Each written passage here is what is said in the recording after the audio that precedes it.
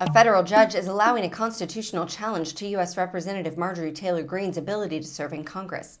And the Republican lawmaker from Georgia is outraged. Take a look at Greene on Fox News Monday night.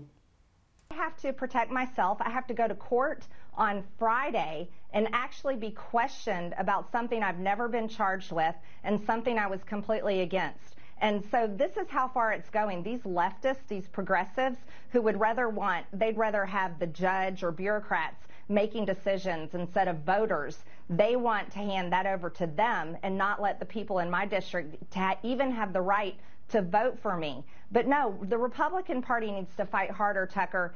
On Monday, the New York Times reported that Greene's critics have said that she frequently referred to efforts to challenge the 2020 presidential election results as our 1776 moment in public comments that led up to the riot at the Capitol.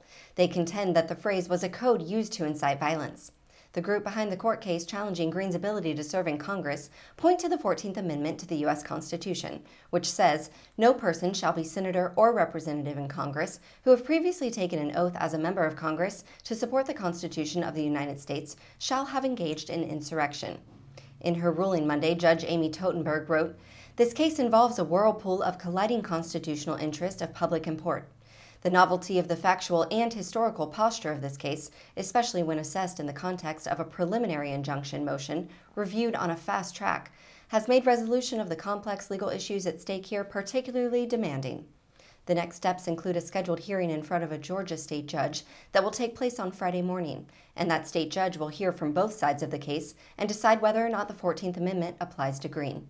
If the judge rules in favor of the activist and advocacy groups and against Greene, the firebrand representative can then file appeals, and the matter may not be resolved before ballots are printed for the May 25th primary election, per CNN.